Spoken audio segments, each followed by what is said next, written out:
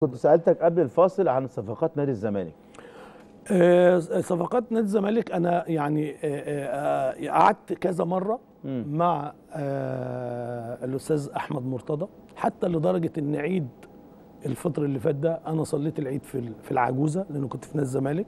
لغاية الصبح عشان موضوع الصفقات وعشان موضوع أفريقيا وعشان مين اللي يقعد مين بتاع عشان إيه يبقى العملية عملية متوازنة وفي الآخر قعدت مع المستشار مرتضى الراجل قعد معايا وحطينا التصور كامل للعيبة اللي, هتقعد واللعيبة اللي هتمشي واللعيبة اللي جاية مين.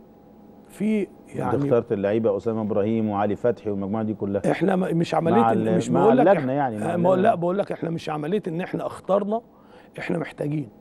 إحنا اخترنا حاجات محتاجينها فعلا. محتاجينها. يعني نادي الزمالك جايب سبعة تحت الفرود السنة اللي فاتت. وما فيش باك ليفت عنده غير باك ليفت واحد أو راح جاب آه علاء وما كانش. فيه باكرات غير حازم إمام وعمر جابر لما. مشي. و- و- و- كده جاب يعني. شريف علاء. المهم ما جاب كانش شريف في علاء. سرد باكات بعد الإعارات. كان عنده شريف علاء ومشي ومشي في ما. فيش هاف ديفندر تاني مع طارق.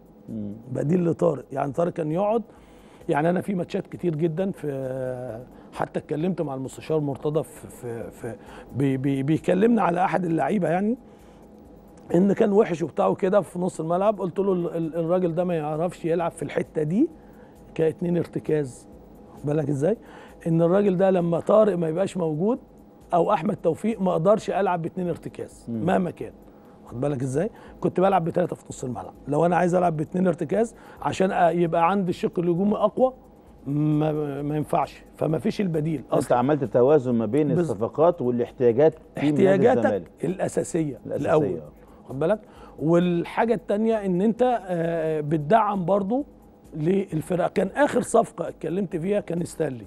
آه. واخد بالك؟ والمستشار مرتضى بالأمانة اتكلم مع المهندس آه، ماجد سامي. ماجد سامي. و- وبعدين ما أعرفش بقى الفضات بقى لغاية ما إيه ما عرفت ان ستانلي جه وبتاع وكده. وكنت أنا من من من الناس برضو اللي أنا كنت بتكلم مع المستشار مرتضى وبتكلم مع اللجنة إيه، أنا ما بحبش المبالغة في الاسعار. مهما كانت نجومية اللعيب دوت ومهما كانت قوته. مم. أنا ما بحبهاش يعني ما احبش إن اصل يعني ما عندناش إحنا سوق أصلا عرض وطلب أصلا. بالظبط يعني آه. ال- انت بتبالغ في ال في ال- الطلبات بتاعتك. فانا أجي أقول لك شكرا خلاص أوكي. ما فيش مشكلة يعني لأن لعيبة مصر كلها قريبين من بعض. وبعدين أنت ممكن تجيب طارق يحيى نجم في ناديه وممكن يجي مكمل وحصل كتير قوي آه كتير قوي بالك؟ بس فأنت وبعد في نفس الوقت أنت بت- بتنقي اللعيبة اللي هي تنفعك وتمشي معاك.